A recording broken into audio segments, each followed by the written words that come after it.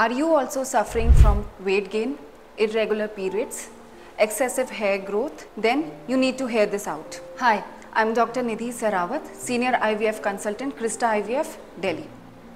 If you are suffering from all these symptoms, then you might be suffering from a condition which is called as polycystic ovaries or PCO. Now, what is PCO? PCO means in your ultrasound, when we do your vaginal scan, there are many eggs together which are all small but not even a single egg which grows and to yield uh, fertility. If you are planning for pregnancy and if you are having problem with egg formation, then the condition is called as polycystic ovaries. In this condition, the volume of the ovary is more and you have irregular periods, your sugars may be high, you have insulin resistance and uh, excessive hair growth on your face or other body parts. For this, you need a right direction if you are planning for a pregnancy. The points which are usually covered when we are planning for a pregnancy in a patient with PCO comes under various headings. First, which is the most important point, that is weight management. If your weight is too high or on the higher side, then you have to work out to lose your weight by at least 5 kg because by losing at least 4 to 5 kgs, it induces natural ovulation. So if uh, you are uh, planning pregnancy, your weight is high, your periods are irregular, then by losing weight, one step is achieved. Then the second point is the diet management.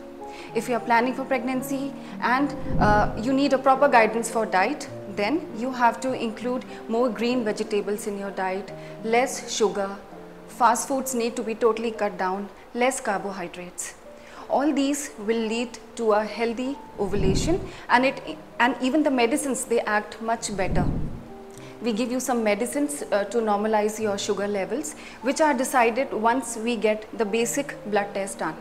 These include your random sugar these include your postprandial sugar and your HbA1c uh, HbA1c is basically a three months control of your sugar like in the past three months how well your sugars was.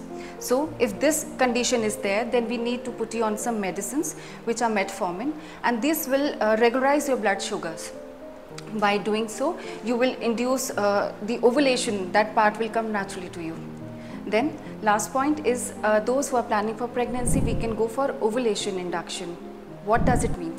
Ovulation induction means uh, we give you certain medicines after doing your baseline scan on cycle day 2 or 3. After seeing, uh, ruling out any cyst, we'll give you medicines which will help to make an egg. Sometimes we had to add on some injections also so that we get a healthy egg.